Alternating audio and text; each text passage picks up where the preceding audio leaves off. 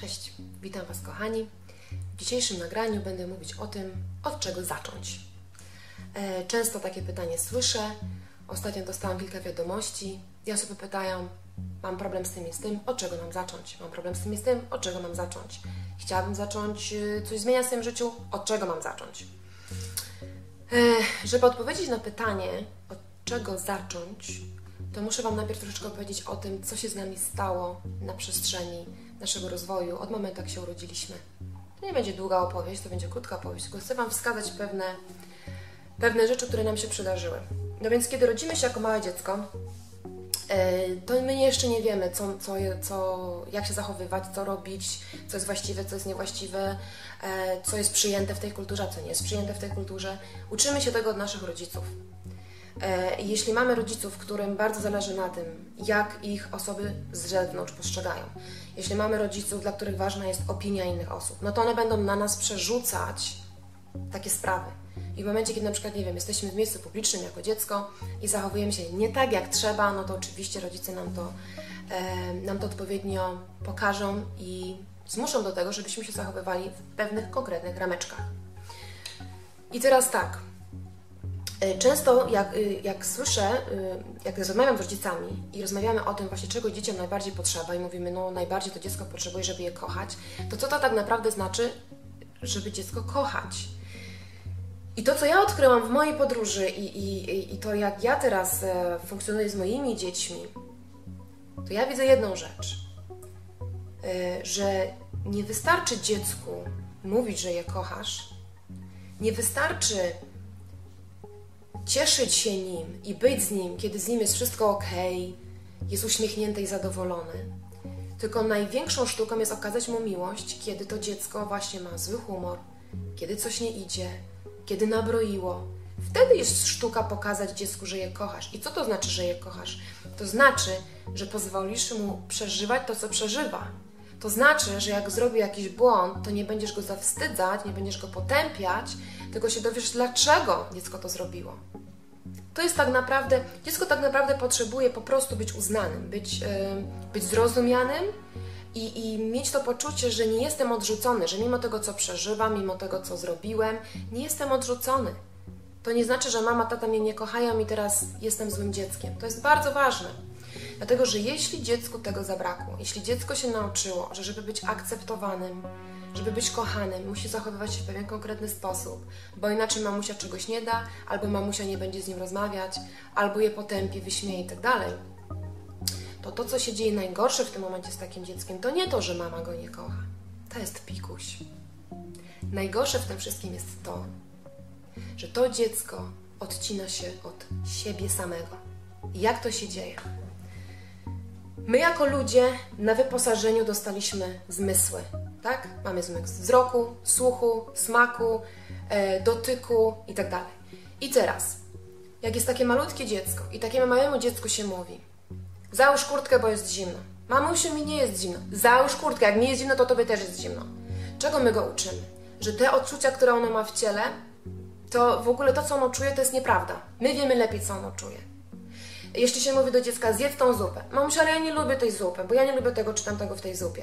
Ale to jest zdrowe, musisz to zjeść. Czego się dziecko uczy? Że nieważne jest to, jakie ono ma preferencje smakowe, musi posłuchać tego, co mówi mama czy tata. Jak często Wam się zdarzyło jako dzieciom, że usłyszeliście coś w rodzaju to wcale nie było jak Ty mówisz, Ty to źle usłyszałeś. Aha, czyli nawet teraz jeszcze mnie słuch zawodzi, tak? Albo na przykład sytuacje takie nie, co Ty w ogóle wymyślasz, tak wcale nie było, ja to widziałem inaczej. Tak nie było zaczynasz wątpić w to, co ty widzisz swoimi oczami. Posłuchajcie, jaki to jest w ogóle paradoks, jaki absurd. Przepraszam, to jest absurd, nie paradoks. To jest po prostu absurd. Dziecko przychodzi wyposażone w zmysły, za pomocą których odbiera świat, a my mu mówimy tak: nie czujesz tego, co czujesz, nie słyszysz tego, co słyszysz, nie widzisz tego, co widzisz. Jak mówisz, to mówisz źle. Czego się to dziecko uczy? To dziecko uczy się tego, że nie może zaufać sobie, że nie może zaufać odczuciom, które ona ma w sobie. ok? I to jest najgorsze, co się dzieje. Bo to, że mama nie kocha, to można po jakimś czasie tamtej mamie wybaczyć, że ona, nie wiem, miała problem z tym czy z tamtym. Najgorsze to, co się dzieje w tym momencie, to jest to, że my się odcinamy od samych siebie.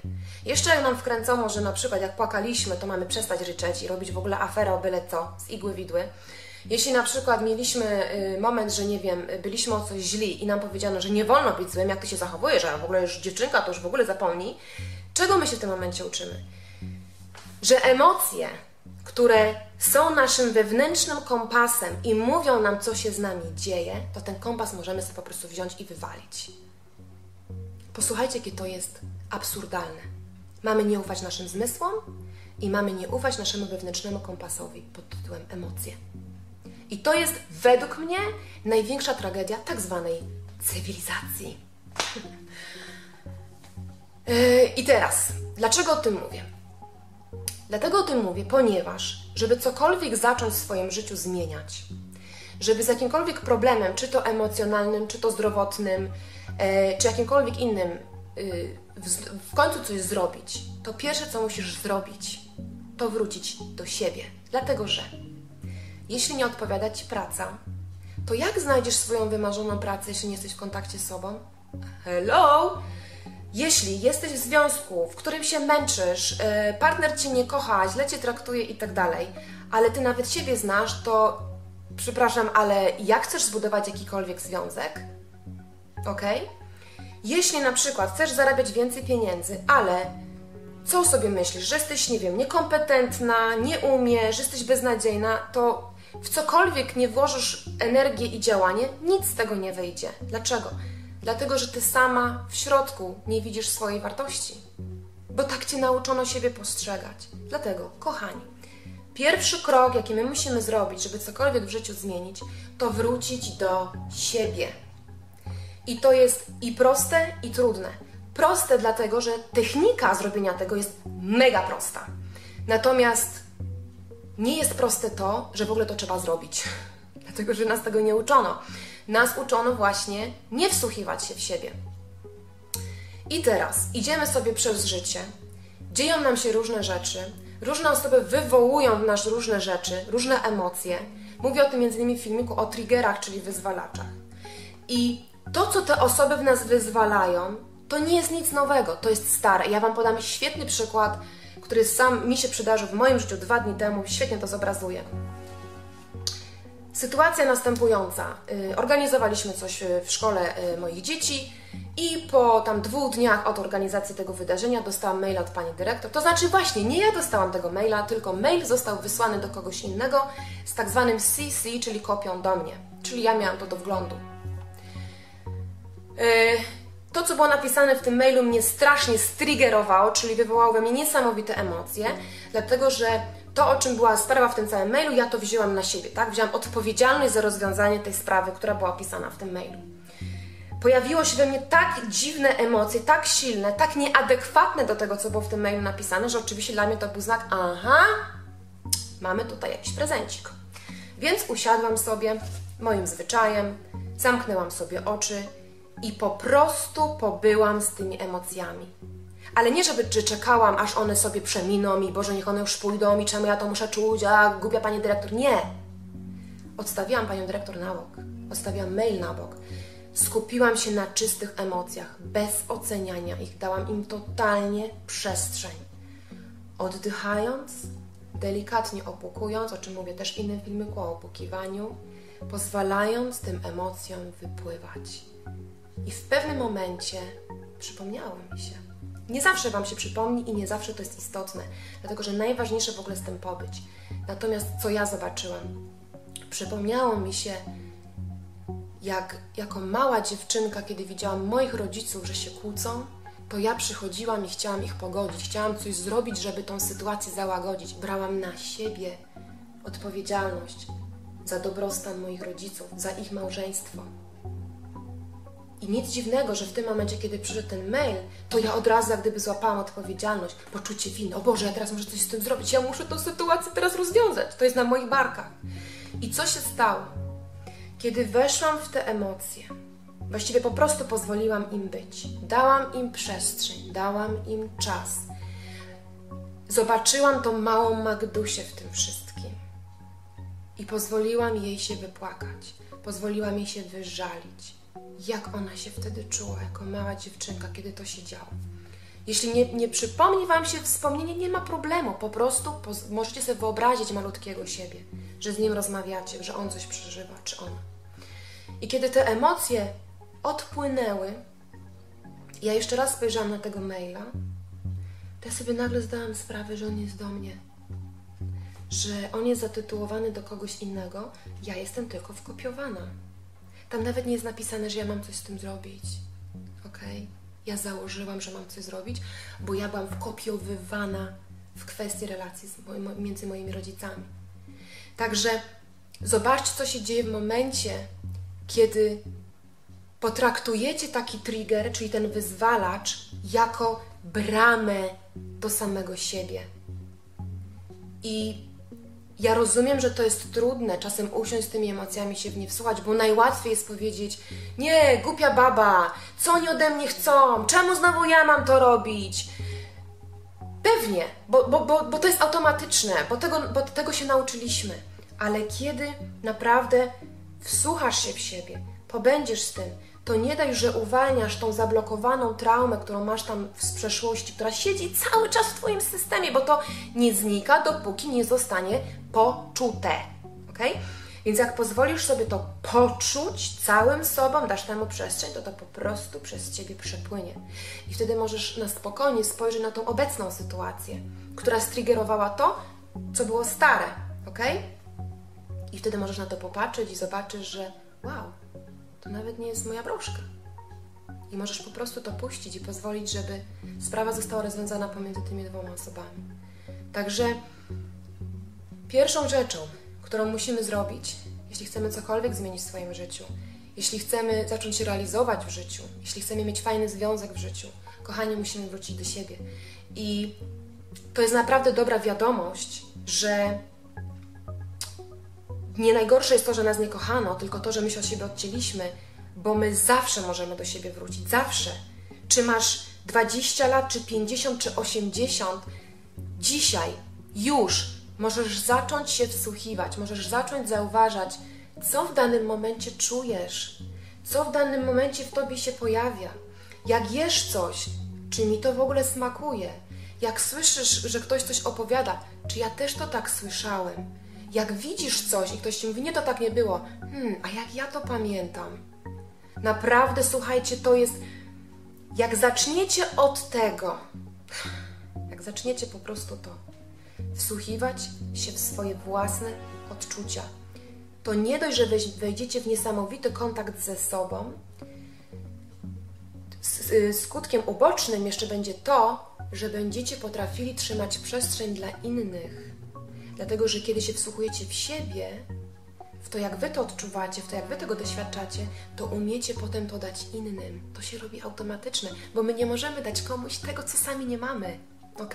Dlatego, jeśli masz problem, na przykład być obecną z dzieckiem tu i teraz, co to znaczy? Że nie potrafisz sama ze sobą być tu i teraz. Zacznij zauważać, co ty czujesz. I po prostu pozwól temu być. Ja dzisiaj miałam dziewczynę na sesji, która była zaskoczona, ale jak to tak w jedną sesję puściło? Ona myślała, że będzie musiała na jakąś serię przyjść. Tak, czasami trzeba przyjść na serię sesji, żeby pewną, pewne rzeczy przepchnąć, ale czasami jest tak, że wystarczy, i ona była zaskoczona, że wystarczyło dać przestrzeń i napięcie, które miała w żołądku, po prostu się rozpłynęło. A, a wcześniej to polegało na tym, że potrafiła kilka dni z tym napięciem chodzić. Więc naprawdę jest w tym niesamowita siła i tą siłę my możemy sobie sami dać.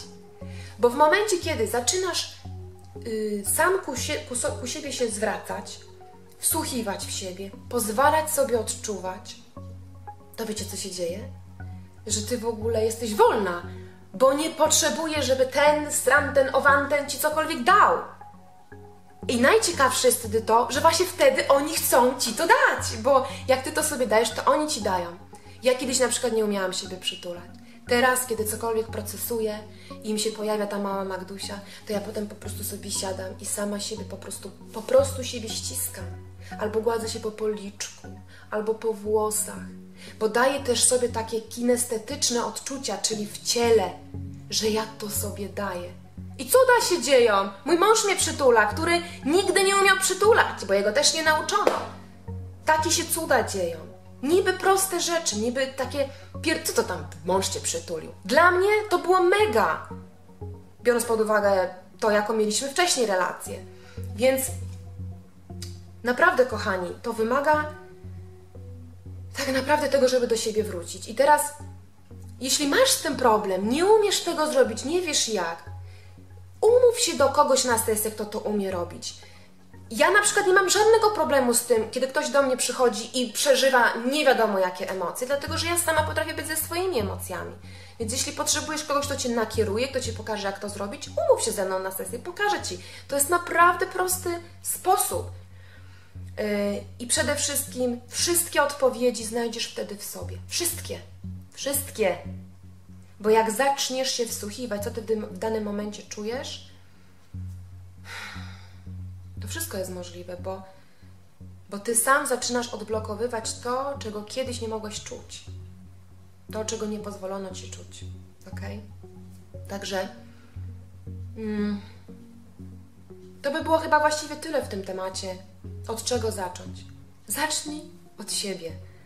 Jakkolwiek pompatycznie albo przyziemnie to brzmi, naprawdę my musimy zacząć od siebie. Owszem, pojawiają nam się ludzie w życiu, sytuacje, które nas triggerują, czyli wyzwalają w nas emocje, ale tak naprawdę te emocje już nas siedzą od lat. I pytanie teraz, co my z tym zrobimy? Czy my będziemy dalej żyli z automatu, oskarżając wszystkich dookoła, co oni nam robią i dlaczego mi się to dzieje w życiu? Czy my weźmiemy odpowiedzialność za te reakcje?